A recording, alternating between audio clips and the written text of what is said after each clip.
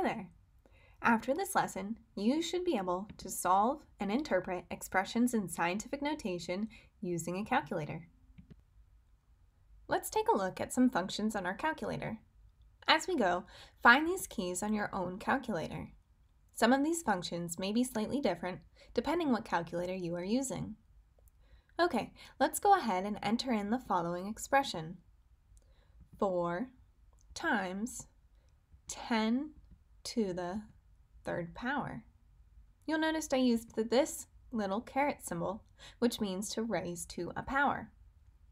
Okay, press enter, and we see this is equal to 4,000. Another way of entering this number is to use this 10 to the x function.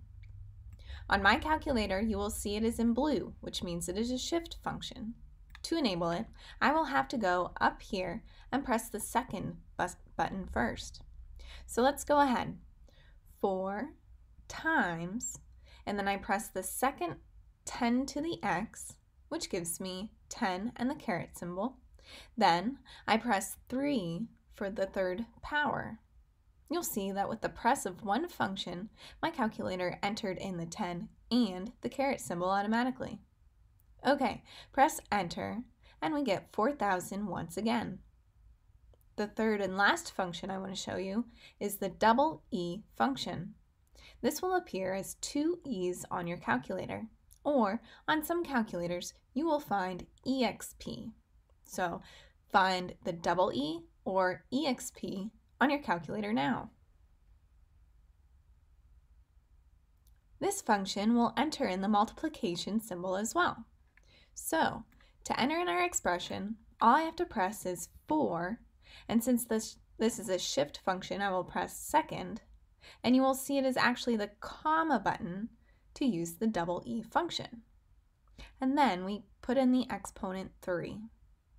This little e takes care of times 10 raised to the, but we only had to press one key. Press enter and we get 4,000 once again. These keys can be time saving once we get the hang of it. For instance, let's add these two expressions. Since it is most time saving, I will use the double E function. 2 times 10 to the fourth power plus 6 times 10 to the fourth, and enter.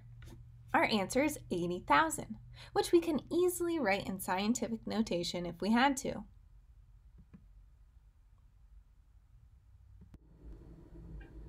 Okay, it's your turn. Use your calculator to evaluate the expressions below.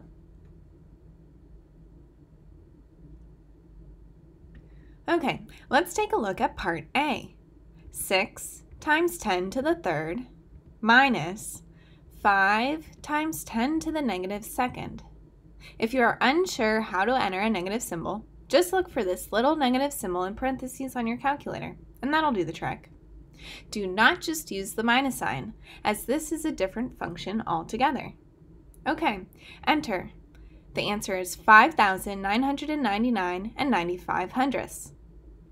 Now for part B. 8 times 10 to the ninth divided by 2 times 10 to the fourth, and enter. And the answer is 400,000. Good job. Okay, the last thing I'd like to show you is what happens when we work with very large numbers. For instance, let's type in 9 times 10 to the 25th the old-fashioned way and enter. You'll see that your calculator automatically adds in the e to the solution. It does this because the number has more digits than what will fit on your calculator screen. And by now, you know that this just means 9 times 10 to the 25th power. Go ahead and try some problems on your own.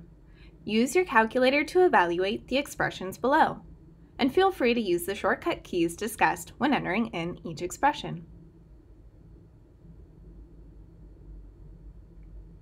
Okay, we've got 3.8 times 10 to the 31st plus 7 times 10 to the 32nd. And enter. Our answer is 7 and 38 hundredths times 10 to the 32nd. Okay, now for part B, 9 times 10 to the 27th times 2.3 times 10 to the 5th. And enter. 2 and 7 hundredths times 10 to the 33rd. Good job!